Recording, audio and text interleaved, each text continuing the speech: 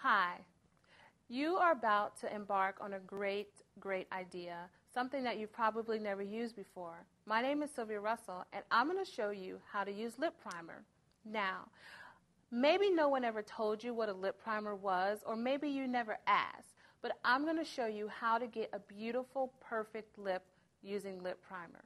Now, lip primer is something that you use on the lip for several reasons. The first one is if you have a lip that is darker than the other, sometimes people have a light lip down the bottom, a dark lip up top. And when you apply your lip color, it's not the same. So what you want to do is apply a lip primer. Primer is, comes in different shades, and it, what it does is help give you an even tone on both the top and the bottom of your lip. Now they could come in light browns, light pinks, dark pinks, dark browns.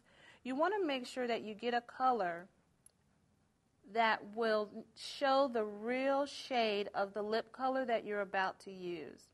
As you can see here, I'm saturating the lip, virtually changing the color of her natural lips. And of course, if it's lighter, it's better. Because if you think about putting a color on something white, you're going to get the natural shade of that color.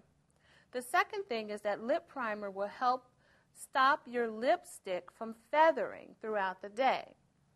It acts as a moisturizer and also allows your lipstick to stay on longer.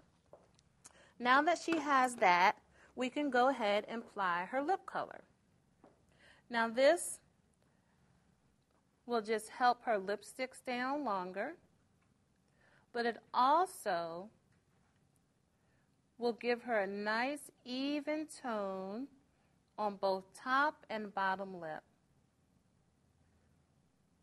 So you don't come with two different colors.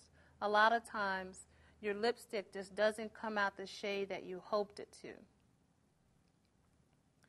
So once you get your lipstick on and you've achieved the color that you want, you can finish up with any lip gloss. Now remember, if you want a true shade, you want to stay with a clear lip gloss. You don't want to add another color on top of that. This is how you create or use lip primer. My name is Sylvia Russell, and this is something that you can do. Thank you.